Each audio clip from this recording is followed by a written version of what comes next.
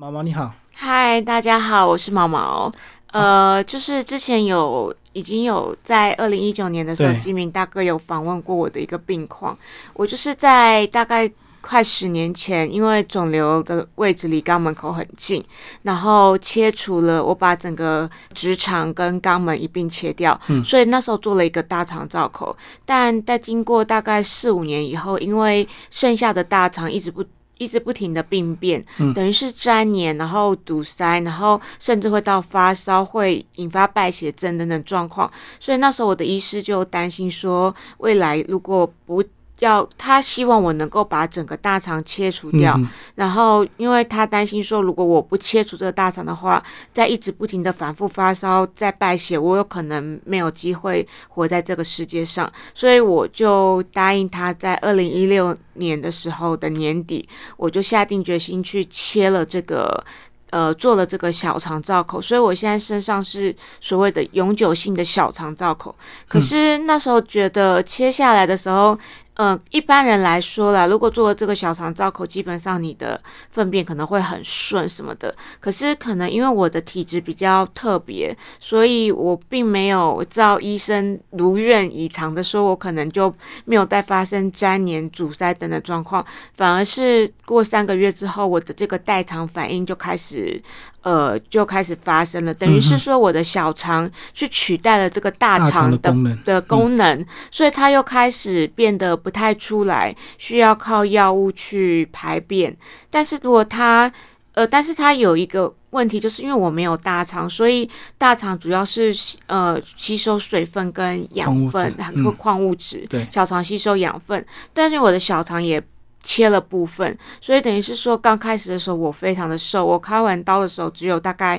三十七公斤，然后就是靠一些呃高热量的营养品，跟在住院的时候打一些营养针，去把这个体重补回来，嗯因为他们觉得我太瘦了，这个营养的不均衡等等的。可是其实做了这个小肠造口之后，其实呃跟大肠造口比，生活上面也带来了。一些比较不一样的感觉，因为小肠造口它出来的是比较水状的，然后它可能比较你呃你的袋子可能要贴的比较牢一点，所以相对的你的这个耗材的这个造口袋的耗材成本也相对会比较增加一点，但我还是认为是说，因为这个生活品质的关系啦，我。我必须要就是保持这个，因为我也是一个爱漂亮的女生嘛，就是在还没有新冠肺炎肆虐之前，我也是每年都会出国嗯这样子嗯嗯到处带着去造口出国，对，带着照口去旅行这样子。对，那因为新冠肺炎的关系，这一两年就可能没有办法去国国外这样子。那可是因为，呃，其实我觉得。呃，比较好好笑的是，在去年的三月、四月，呃，新冠肺炎这个冠状病毒刚开始的时候，很多人不太敢去医院。对，没错，对，嗯那时候大家就是对医院来说就是敬而远之这样子，然后所以在去年的时候，有很多的大肠直肠癌的病患，他们可能是。应该是要早期发现的，可是因为可能拖拖延了拖延了一些嗯时间，原本可能只要一二期的病患，他们可能担心去医院会，嗯、会遭受到一些病毒的感染什么的，更严重，更严，重，所以所以导致去年的那个筛检出来的那个比率都是以重症的比较多，就是大概太可能晚发现比，较对，等于出三或四期，嗯或是二三四期。因为其实如果你早期筛检这个大肠癌，呃，国健署有规定嘛，大概我们是来筛检五十岁以上的人就可以免费免费见诊，对，嗯五十岁到七十四岁就可以免费每两年做一次这个粪便潜血检查。虽然它的准确率大概只有百分之七十，但是你去做的话，你心里会有，就是你会给自己做一个诶基本的健康检查，因为呃这几年来这几年来大肠直肠癌一直高居国人罹患癌症的第一名嘛，嗯，所以其实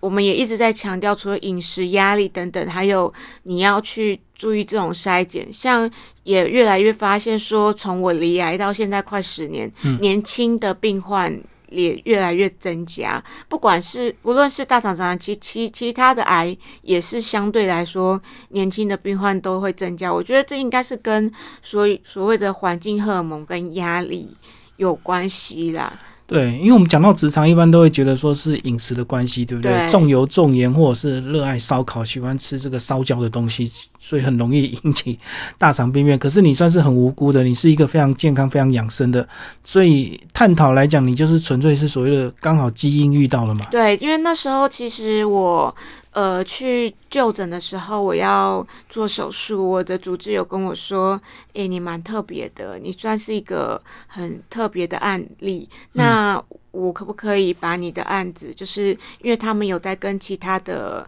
呃肠胃内科做研究，嗯，就是把把你的案例做成一个 study 的 case，就是、呃可以帮助未来的人，但是对你或许没有帮助，因为我已经罹患了嘛。对，但是像我这种不呃不烟不酒，然后正常饮食的，还会罹患又没有家族史，然后也不吃烧烤的，然后他们他就觉得我很特别，问我愿不愿意，就签了一份那个嗯嗯嗯，同意书，因为对于这种像我这种不烟不酒，然后罹患癌症的这种比较特殊案例的人，他们如果去做一个研究案例，如果对于以后研发这种新药来说，或许会对一些未来的得病的人有帮助。这样子，嗯，那有一段时间我体况比较好的时候，我还有在医院做一。呃，癌症筛检中心跟癌症资源中心服务，做就是对，诶、算是做 part time 的工作，哦就是希望民众能够不要因为忽略这个筛检，然后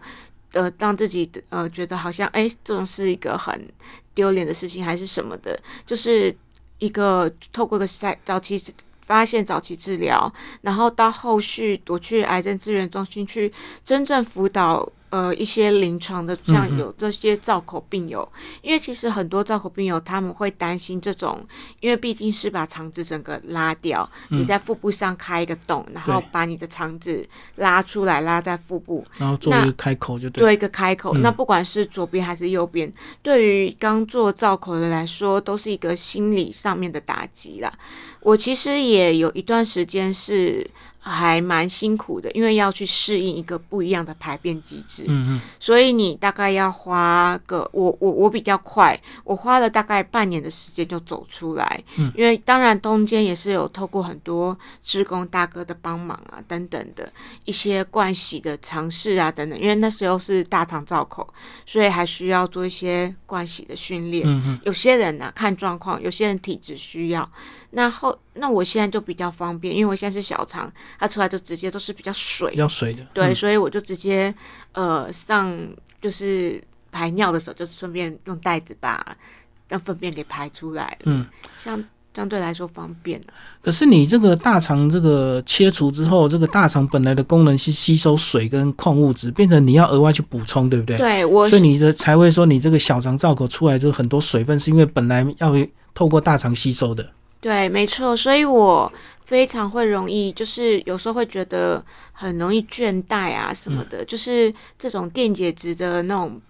呃。会有比较容易不足啦，所以有时候可能常常就是会，因为我那时候突然间有一阵子，我就觉得奇怪，我怎么每天睡都睡不饱这样子，然后我那时候才因为有时候我会阻塞，我也是就是常常容易胀气，因为我开过太多次刀了，我的腹部动了六次手术，嗯所以那时候呃粘粘的非常粘黏粘的非常严重，到最后是连那个防粘连垫片也都没有办法放的，因为那个防粘连的垫片放了反而容易增加我一个感染的风险，所以那时候我最后一次手术的时候，那个防粘连垫片也都没有放，因为在之前的二零一六年开这手术的时候，我二零一五年其实已经把部分大肠切除，只剩十公分的大肠。嗯嗯那时候还想说，能不能够放个防粘连垫片，或者是说让我的生活品质好一点，不要再因为这种肠粘连阻塞等困扰，常进入医院。嗯可是其实我做了很多努力，医生也做了很多努力，可是偏偏我就是那个很例外的 case，所以导致我在二零就是这几年来。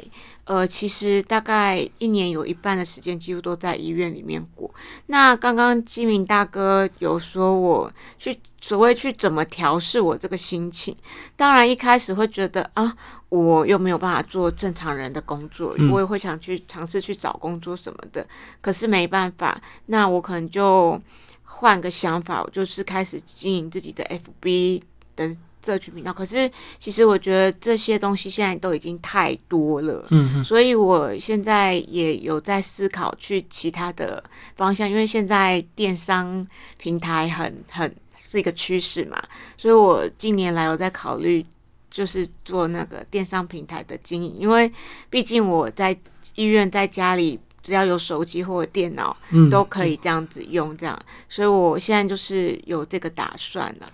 想做哪方面的商品？呃，都有诶。其实像嗯，营养保健食品啊，营养品，或者是呃，女生都爱美嘛，还有一些化妆品、面膜等等的。嗯，对，就是我正在跟一些呃我的朋友们有在洽谈接触这样子。嗯，对啊，因为原本是想要就是拍个。开个 YouTube 什么的，可是发现其实现在台湾都太就是太多这种相类似的了，太多年轻人立志当网红。对对对，那我觉得就是有其实其实网红，你你你真的是一个蛮蛮不归路的，因为。你尝试过，你就知道你后续的剪辑啊，你要花的那个时间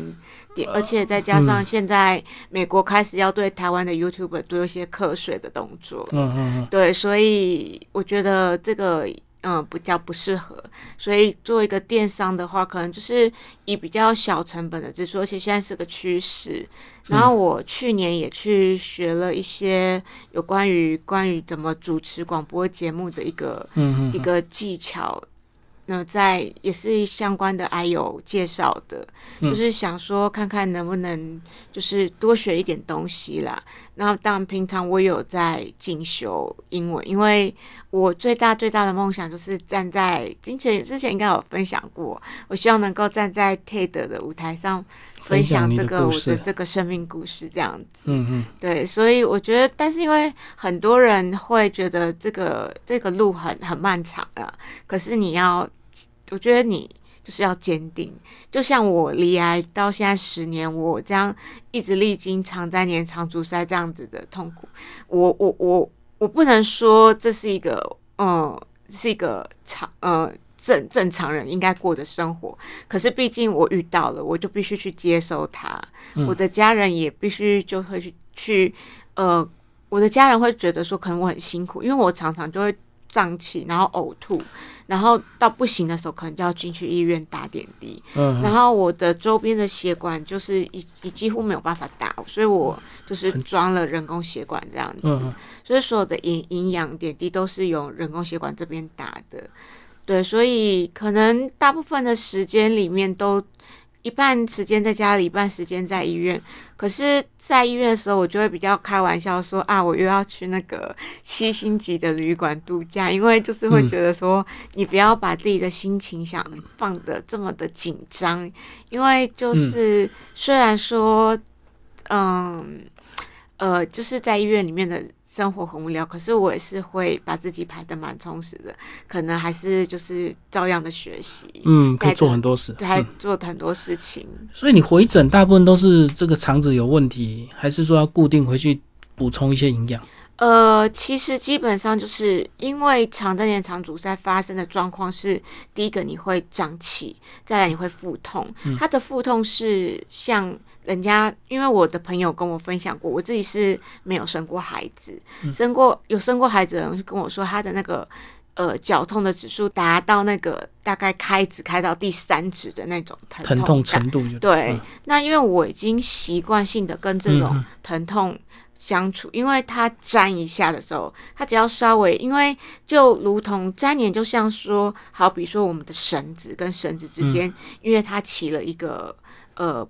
有有有，因为墙把墙壁拿出来之后，它本来是一个平滑的结构，可是我们把它拿出来之后，它变得不平滑了，皱皱，所以它必须要去彼此之间，当我们粪便排出的时候，要经过一个程序，它要离它要出路。可是问题是，这个绳子已经不是那么的平滑，它已经打结了。所以当他遇到这种打结，他过不去的时候，他就会开始绞痛、胀痛，然后整个人会变得非常的，就是会冒冷汗，然后开始吐吐。然后因为一开始吐的时候，你就可能不能进进食，包括水也不能喝，因为。代表你的肠子已经整个都胀起，已经堵塞了。对对对，已经堵塞了，就不能再进食，就会越塞越多。对，就会越塞越多。你如果再进食的话，就可能就是比较没办法，你就可能越塞越多。那刚开始的时候，我还可以吃一些比较高纤维的东西，但我现在几乎完全没有办法吃。嗯，因为我的医生就有跟我讲说，人家。对于这种纤维的是好消化的，但我对我来说，那个就是一个障碍物，就是一个哦，你的吸收很脆弱，就对。对，我的吸收很没有办法，没有那么利。我的肠子很细，而且太敏感了。可能因为像肠胃这种东西啊，我可能一个感冒啊，或者是一个变天，就像是可能今天就像是我我我就。举例来说，我的肠胃就好像气象台这样子，很敏感，就很敏感，非常敏感。我可能一个身体的不适，就会导致我一个肠子的不适这样子。那有时候也不知道怎么搞的，有时候在医院可能好好的，因为我们在医院进行肠粘连肠阻塞这个处置都是一个流程。他怎么处理啊？他怎么处理？其实只有两种方式，要么就开刀，要么就保守治疗。那保守治疗其实就是打点滴，打点滴的话就是先抽血看你少什么。那因为我就是会打一个比较大包的，比较营养比较够的，因为我比较不能够吃一些正常人所谓的的吃能吃的东西，所以大部分我都吃一些流质。嗯，那流质又容易，因为小肠又容易水，所以我的长期以来的营养可能某部分的营养会不足。嗯，所以我可能就会要打一些营养，就是高高剂比较比较高剂量的营养针这样，然后再。可能验验钾离子，然后你补充一点电解质啊、钠啊、钾，因为一个电解质的不平衡，你整个人可能就会造成你的整个身，就是精神方面的紊乱什么等等。所以补充好，它就会通了。呃，不是补充，先补充之后，让你的水分有了，水分有了之后，你开始先进食进水，然后等到你。呃，让肠子休息几天之后，开始喝水。喝水之后，水慢慢的喝，先从少量的五十，然后一百到可以喝的时候，这个一两天，然后再进行一个清流的状况。清流值喝完之后，可能再吃个呃那个算是 semi liquid 的，不是半流子，算是一个全流。全流全流之后，再开始做做那个。呃，半流半流所有的稀饭，这个时间因人而异。可是我偏偏就是体质比较特殊，我大概都要待到两个礼拜，基本上。那因为我上次就是又一个不小心，突然在吃到清流质的时候又吐了，所以我又打回原形，又从头开始，从头开始又进食。所以我上次在医院住了整整十九天，然后又觉得，然后又因为可能一些，因为我本身。抵抗力就比较脆弱一点，所以我比较容易感染。所以有时候，因为在去年三月份的时候吧，就是也是整个肠子里面的细菌跑到血液里面，呃，整个又差点造成就菌血症、败血症这样。败血症。对，然后我的医生就很担心，所以我现在就是一有不舒服就要立刻去医院，因为我如果在一直。因为我这个像这一次我住院也是打了一个礼拜的抗生素这样子，因为只要因为我的白血球也是比较低一点点呐，所以整个包括因为其实我们都知道人体的大部分的免疫系统都来自于肠道，可是因为我的肠道就只剩下这么一些些，所以我的免疫系统相对于来说也比别人差，对，所以当然新冠新冠。这个病毒的这个大家都很紧张，所以可所以我自己随身也是有做好这个清洁的动作啊，像每次去医院的时候啊，就是酒精啊都是必备的啦，还有干洗手啊等等的。可是你发炎就会造成发烧，对不对？对。那发烧的话，不是就很紧张？医院蛮紧张的。对，发烧不清楚是哪一种发烧。去年有一次就是因为我发烧，对啊，结果就被就去就去急诊室，就发现是呃。跟肠肠子的发炎指数还好，所以就就又回家了。可是隔没几天，就是还是又吐什么的，就又去医院又住院了。然后那时候我很紧张，那时候我也是把自己包的，就是还、隔离，对对对，就是还穿那个雨衣呀、怕害到别人对对对对，然后还戴口罩什么的。然后急诊室医生就吓死，是说你不需要这样子，没有那么可怕了。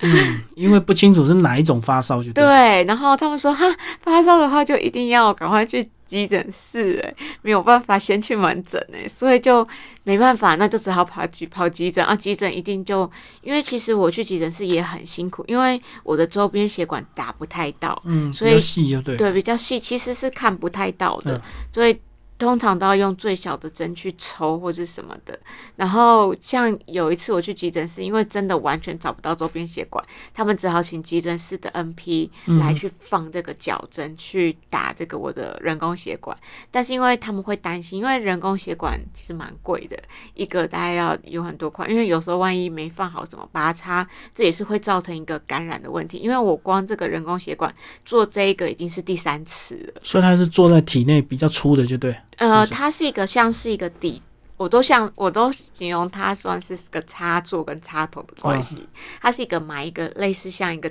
孔状的东西在我们的这个皮肤的这个表层这边，对所以很明显就容易扎，就对。对，呃呃，算是你摸的可以到算是一个纽哦扣，可是我跟我男朋友形容它像可能是插座，然后我们点滴的时候可能是插头，点滴要把放一个矫正把插头插进去这样子，所以从点滴也是从那边打。嗯那因为这个东西是不能随便给一般人处理，因为这个拔插的风险，如果一个不小心也很容易造成感染，一个感染之后，这个血管可能就不能用，又要再拿掉。重做，重做，所以你都要在固定的医院，就对。对，所以我的，因为我从民国一百年九一百民国一百年九月罹患癌症，我都在振兴医院治疗嘛。那因为其实这个我那时候离癌的时候三十岁比较年轻，然后呃，可能医生也会宁可错杀不不要保留，所以其实。呃，后来的引发的一些，再加上我开了很多次的重大手术，所以可能有时候我看了蛮多科的啊，就是可能因为呃，再再再加上因为我做过放射线治疗，所以没有月经，所以我的皮肤会比较干一点点。嗯哦，我知道你的意思是说，因为你还很年轻，所以它一定要斩草除根，就对。对对对，那如果你比较年长，有些东西它就不一定要处理了，也这也是看因为风险的这问题。这也是看医生，因为我的医生是属于那种，呃，他觉得能够能够切干净就切干净，嗯嗯，对他能，他觉得说，因为像我们这种比较年轻的病患，尤其是直肠的部位，因为直肠肛门那边它的神经很敏锐，它的神经很多。那如果一个没有处理的干净的话，一个不小心就串串到你，可能就变成第四期了。所以我有很多病友，他们是直肠癌第三期，到最后都复发转移，然后往生的都就有好几个。是不是也是因为它这个接触到我们的粪便，所以它更容易感染，所以一定要切除的更干净，嗯，也是也是这样子，再、再加上，因为它其实真的是。主要还是因为它离它的周边神经很很多，嗯，它但它它的神经很多的话，它一串就去串到肺或是肝，连接过去连接过去。嗯。像之前就是我好几年前有跟于于天的女儿小女儿，嗯哼，有有有有一起同台上过一个节目，呃，前一阵子他不是复发了嘛？那他弟弟不是有说，其实他应该做这个造口的，那就是因为他当初因为碍于他是艺人的分身份，嗯，我不想做。这样已故已故的那个诸葛亮朱大哥也是，其实我们都知道，因为很多艺人，这如果他们不要说艺人好了，一般人只要听到要做造口，通常都会稍微觉得啊。我要做造口，那我以后的生活怎么办？嗯。对，那时候我也是有这样子问过我的主治医生，我的主治医生说，对，就是因为你还年轻，所以才要做这个造口。嗯。你如果不做的话，你有可能你你你要承担这个复发转移的几率。对，对。嗯嗯，对，那你一辈子可能就要不停的做这个化疗、放疗，有可能这辈子可能也也也不可能生命，因为生命我们没有办法掌控我们的生命有多长，但是至少我们可以掌控我们生命的宽度。所以我觉得好，那我既然做了，我就我就接纳这个造口的出口，嗯至少他救了我一命啊。对，而且其其实造口它的这个护理方式以及它相关的用品已经发展算是蛮完整，所以只要你能够确实做好一些造口的清理的话，其实它的一些风险是很低，对不对？对，但是因为大部分的人来说，因为其实这个方面也是蛮辛苦。因为台湾来说，因为造台湾没有自己的造口的那个袋子的品牌，我们都需要仰赖国外进口的。那国外进口的袋子及其周边产品，它一个袋子跟它的胶啊什么的，可能就要一两百块或是两三百块。那你可能依依照个人体质的状况，你要去更换的这个频率不一样。最少一天要一次吧，呃，最少呃还是一天要好几次？呃，看状况，有时候如果你袋子有漏的话，嗯你可能就一天要好几个。嗯可是你没有漏的话，你可能可以两三天再一次。哦，所以依状况而定，所以我们都会很多。我还是在医院的时候也没有闲着，因为其实很多造口病友会私下就是 FB 啊，或是交 Line 流，会在我会因为会问我说造口袋用哪一家的品牌啊，是怎么护理的啊？啊，造口万一这个、这个形状渗该漏怎么渗漏怎么要该怎么处理？那有时候是呃，等于是说我就可是因为每个造口病患的的不一样，这个并不是一个 SOP 可以讲讲的，你要看它是什么样的造口，然后不同的形状、不同的位置都有不同的对。处理还有它所不它同的品牌，不同的品牌，所以在这一方面也是蛮花心思去做这个病友。不过它发展到已经可以做到很密合，对不对？其实只要你步骤是正确的话，对，但是难免会有一些，就是难免会有这种状况发生。像以我自己来说，因为我是小肠嘛，那嗯就是如果我出去玩的时候，像我一个动作，因为比较为大的动作，比较大的动作的时候，比如说你那个袋子啊，你的袋子的密合度一定要非常非常的密合，而且你的你要确保你的袋、你的罩口周边是干的，完全是干净的。嗯，然后还有就是可能不能有过破皮，因为你如果罩口破皮之后，你的袋子可能就会粘不住。嗯嗯，所以这些罩口的周边的防护的这些美美嘎嘎的东西，其实还蛮多的。哦，那这样讲，如果你流汗的话，可能就会影响到它的这个密合度，对不对？身体皮肤如果潮湿对皮肤如果潮湿的话，像有时候，譬如说梅雨季节，有时候袋子潮湿或是什么的时候，你有可能也会影响到，或者是说你洗完澡，你自己没有把那个袋子周边的嗯罩口给。就是电弄干净的时候，有时候也会突然间它就渗漏了，或是有个姿势，你可能就是呃，就是可能像有，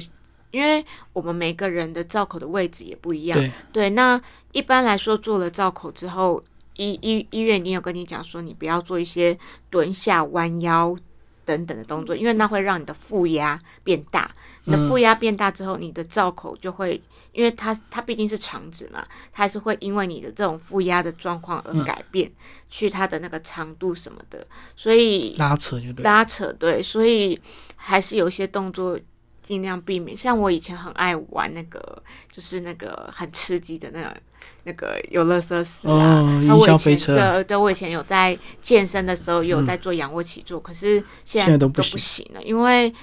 仰卧起坐就是会很容易让腹压变大，像弯腰起身等等，再加上因为我因为开过太多次刀，所以嗯。我的、我的腹部的那个疤痕是整个像有点蜈蚣这样子凹凸不平的，我懂，所以我必须开太多次就对，对。开太多次，嗯。那再加上有最后一次的时候，是因为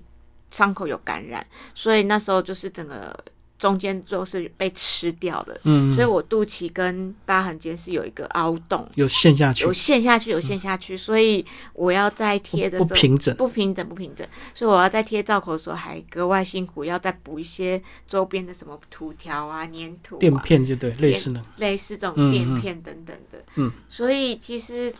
呃，有些人会讲说，看起来好像诶没什么，就是外表都这样，可是其实这种故打开就是还是有那困难度，真的就是故中的辛酸，其实要自己体会。所以你一个人都完全自己可以换吗？我可以自己换啊。我从以前就是刚开始，我刚开始我开完刀的时候，是因为我还要做一些放射线治疗，还有因为我的那个位置离肛门口比较紧，所以我有伤到膀胱。所以那时候我回家的时候，第一次我做完肿瘤切除的手术，回家的时候是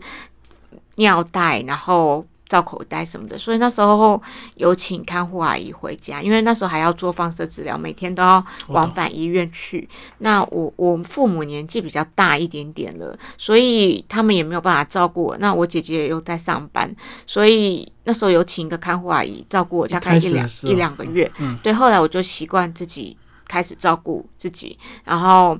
那时候还可以，就是还是大肠造口，在灌肠的时候还带着水袋啊，然后请导游啊帮忙找挂钩啊、灌肠什么的。然后到后来突然不能灌了，就是变成吃泻药的时候，就觉得哎很方便，就可以终于可以不用再挂那个点滴，就是类似像那种点滴架的那个挂水对对。然后到做小肠造口的时候，虽然呃小肠造口。流出来的水分比较多，然后电解质补充可能要比较频繁频繁，对。但是因为觉觉得反而比较方便，因为至少不用，因为在灌肠的时候，你每天一定要同一个时间，然后找一个地方，对，同一个时间定时定点，然后而且你不能间断这个程序，它它这个叫做排便控制、排便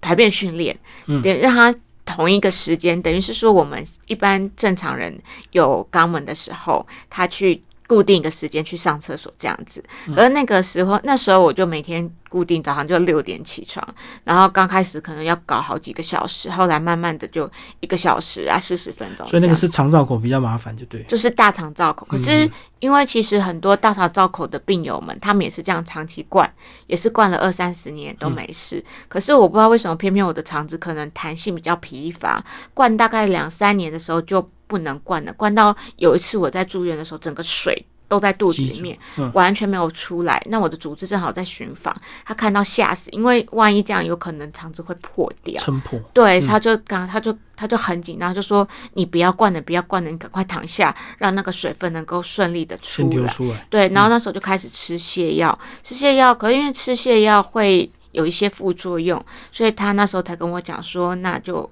我们试试看把。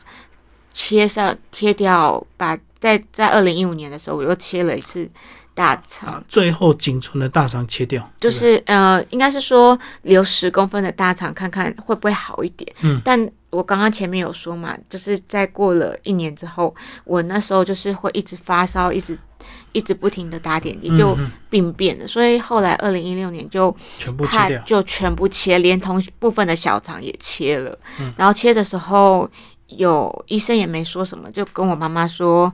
呃，就是小心感染。就就那时候，就是真的就是伤口愈合的比较不好，嗯，所以就感染，又再进去手术室去清创，用那他这样五个吸管，每天护理师跟那个那个专科护理师、照顾护理师来帮我挤脓挤伤口，哇，那那一阵子真的是很辛苦。然后因为那时候又是。因为我那时候很瘦，就是三十七公斤，所以开刀的时候，医生那个引流管的的位置的放置的时候，可能就是我太瘦，不小心插到那个血管壁，所以我又一直在内内出血，大量的内出血。我那时候刚看完刀，输了脐带血，我的血红素都没有回来，就去照了核磁共振扫描，发现说在这边有一个阴影，吓死，想说是不是又是什么？那时候插到没有发现啊。他没有没有，他医生是说他都处理的好好的，可是他 他他他就觉得他比较他比较直啊，他比较直率一点，他就说很倒霉。可是，在我们听来就觉得说，呃，到底是谁倒霉？可是因为我很了解他的个性，他就是就是这种 case 是几乎是不会发生发生，就是发生在你身上，对，就发生在我身上。就后来就。这样子，我又再去进一次手术室，因为血块的淤积长期来说对体内来说也是一个不好。本来想用吸，就是抽抽抽取抽出来，抽出来，但发现太深了，抽不出来，只好要进手术房，又进手术室，又再开刀，再开，再开。所以我那一次就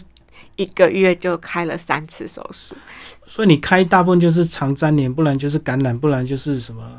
反正就是这些类似的问对，题。然后再加上人工血管也是开了，就是拿拔拿拔拿，光装拿出来，这是第三个嘛？那你想说第一个装拿出来两次都要进手术室，第三个就等于是五次，所以我这样进手术室就超过十次。嗯，对啊，所以有时候就因为莫名其妙，因为我有时候住院住一住就会突然就寒战，然后莫名其妙就上次就是来上过你的节目之后的那一次，就年底的时候，先是人工血管感染、酵母菌感染，然后我男朋友就说你变面包了，我说嗯。怎么会酵母菌感染？然后那个感染科医生说也不知道，就必须拿掉，所以就又重装一次。开刀再重装就对对嗯对啊，哇，所以你这个这十几年来，十一年来没有没有还没十还没十年，嗯，快十年。一百年了，嗯，嗯，一百年一百就十年来，对啊，对。所以你几乎一直反复在进出嘛。哈，对，反复进出。嗯嗯，对啊，可是其实很多人可能会觉得我很辛苦啦，但是可能我自己个性比较乐乐天，我觉得因为已经习惯这种生活了，那其实周遭的我的男朋友真的也对我很好，因为、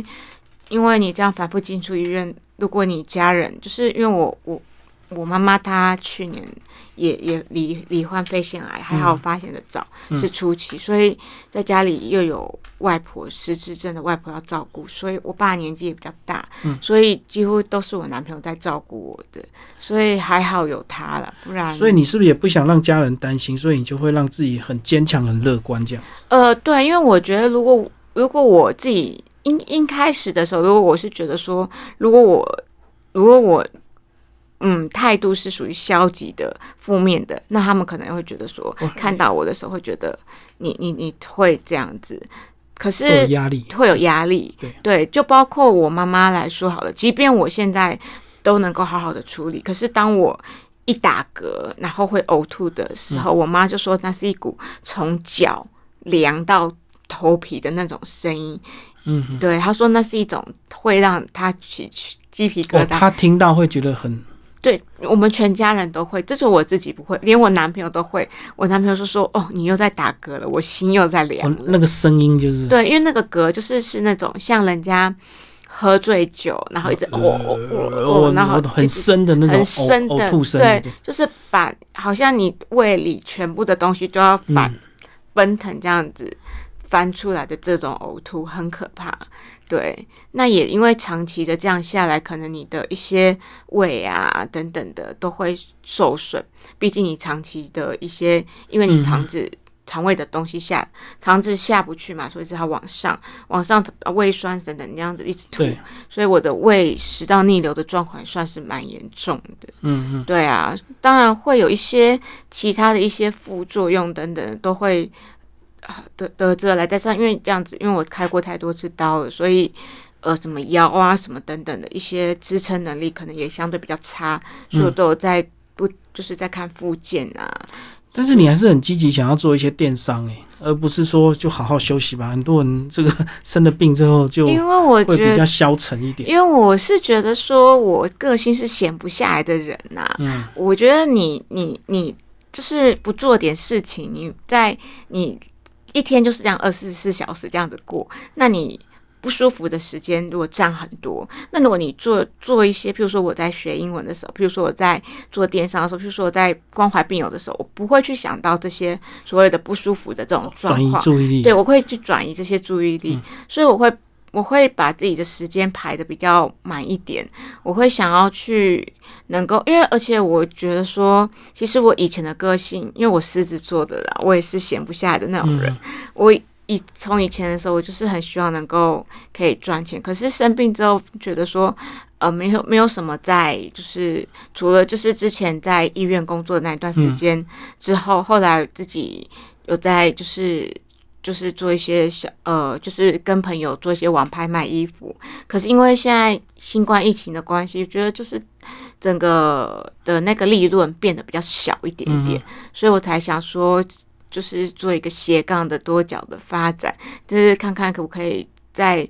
因为这是，毕竟其实新冠疫情给我们带来一些一些不一样的启示启启示啦。因为可能有时候以前我们会习惯去外面，呃买东西或是看东西。可是因为现在大家都会怕嘛，比较做电商出门，所以就做电商或 podcast 这嗯这种趋势的对。其实我觉得这都是趋势。那我觉得你就是去尝试着做做看啦。说如果就是只是有做就有嘛，没做就没有。与其你待在家里整天就觉得说哦，我肚子好痛哦，反而更严重，对不对？那然后你就整天注意力在自己的注意力对，就像我我干妈来说，她就是比较呃个性比较没有办法走出来的，她就觉得说啊，我哪里又不舒服啊，嗯哪里又不舒服，什么都嗯全身都痛。那其实有些很多时候的病都是他自己想出来的。对对对对，对，那你与其你这样的话，你不如就是把自己的生活去排的比较充实一点。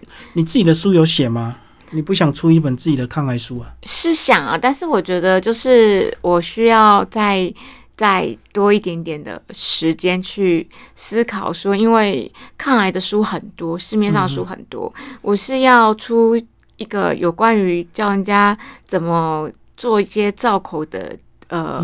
的清洗啊，或是灌洗的技巧，或者是说，还是说，如果你对于这种造口来说，你你会排斥等等，我会去我我想的比较多啦，因为我不想说随随便便就说啊，就是那种抗癌书，然后嗯，呃，然后就是我的治疗啊，然后大概怎么厉害，就是我我想比较多，所以我还在思考这个书书就是怎么样更有特色就对对对怎么样去把那个书籍更突出嘛？因为也也知道现在那个传统书籍的市场也开很有始比较限，对，对比较有限一点，嗯嗯嗯，对啊。好，那最后这个呃，如果疫情过了可以出国的话，你最想去哪一国？我应该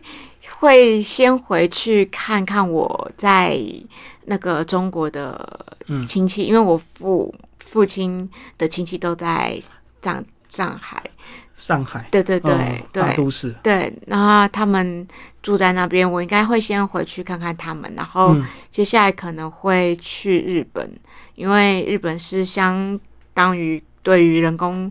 造口有一个友善善的一个国家。对他们比较进步一点。对对对对，那这也是我最近在忙的一件事情，就是我正在跟有关于相关单位，像陶瓷工会啊等等的辅具单位等等的去做一些有关于那个人工肛门五五盆的一个设计的一个草案，因为这个像因为现在不能出国嘛，嗯那台湾毕竟大概有好几万人的这个人工肛门，那我们需要。使用到这个无障的厕所是跟一般人是不一样的，不一样。对你们需要一个平台，对对，一个平台，一个好去去镜做，清理护理。还有一个陶瓷清洗的设备这样子。嗯那我所去过的人工肛门的洗手的这个设备，其实普遍来说还还都不太足够啦。那有些地方甚至因为呃害怕一些街友的去回去占据占据，然后后面去把它上锁，你要需要的时候要去按那个铃，这样他们都以为用无障碍空间就可以替代，对不对？对，很多人会以为是用无障碍的这个洗手间就大一点就好了。替代，可是其实是不一样的，因为有时候你可能要去换，你要换的时候可能需要一面镜子，嗯你你你可能需要一个洗手台，就跟那个育婴室一样，的对对。他有时候换尿布，它是需要一个平台让小 baby 躺下来。那那我们如果需要冲洗的话，可能要温水，不能冷水，所以一般人不了解，所以我最近就在积极的跟这个陶瓷工会啊，还有 TOTO。他他们做这种卫浴设备的这些厂商在合作，因为其实，在两年前我们就已经请日本的原厂来开会，但是因为台湾一直没有一个立法一个草案啊，所以才会一直延宕延宕到那么久，所以啊。昨天我们才在商讨，最后才说，那如果没有草案的话，我们就开始自己立，就是呃，看要用一个什么样的方式，大家集思广益的这样子。因为我觉得，呃，现在不能出国嘛，那也不知道新冠这个疫情什么时候会结束，嗯，所以我觉得我们要在台湾玩的话，当然要让我们造口病友能够玩的比较放心一点。对，对，所以觉得广设这个人工肛门的厕所，这个相关单位啊等等的，也是一个需要去一起积极努力的。而且换下来的罩口袋是不是要另外处理啊？换下来的造口袋，一般来说就是直直接丢到那个嗯那个垃圾桶里面就好。但是因为像国外他们比较环保，他们会有附一个那个塑胶袋什么的，所以我自己平常出去也会带那种塑胶袋什么的。对，然后如果要，因为好久没有出国玩了，如果出国玩的话，我身上都会备，不管是出国还是出远门或什么的，因为怕渗漏嘛，所以我那时候出国身上都会备一个备一个罩口袋，然后我会穿那个尿布，因为尿布的话可以防渗漏放伤，对对，防哦渗，漏。多一层就对了。对，多一层的那个去嗯那个，不然就是塞纱布。对，有一阵子因为中卫嘛，中卫要做口罩，中卫的纱布大缺货，又买不到。嗯，哦，那时候还好，我就在 FB 想说，哇，就是纱布没有，大家就帮忙集思广益，帮我送纱布啊。因为可是因为中卫的纱布的确是比较好用，因为我们是它的它是用布织布，但是因为没办法，布织布的材质正好要去做口罩。对，对啊，所以那也也因为这样，其实是纱布现在是一个很宝贵的东西。嗯，对啊，所以你算是比较有经验啦，你会额外再多几道预防的这个措施啊，会啊以会啊免渗漏，有时候会很尴尬或很紧急嘛。会，因为我曾经接洽过某家旅行社，我那时候要去，我想要去澳洲玩吧，然后他就觉得对于我这种案例很很不知道怎么处理不知道怎么处理，因为他们比较不了解对，然后他们就就把我玩具，婉拒了这样子。那后来我就跟另外一家长期合作的旅行社有联系，那那他的业务员都很知道我的状况，所以也跑过了蛮多，就是。在还没有新冠的时候，也还还好，那一年有去美国玩。自，助旅行，对，就但是没有没有啦，就是跟团，但是因为他的那个自由点的比较多，所以我跟我妈有到处去走走这样子。嗯嗯。对啊，今天非常谢谢妈妈为大家介绍她这两年哦新的一些 关于疫情以及她个人抗癌的一些故事哦。好，谢谢。不会，谢谢。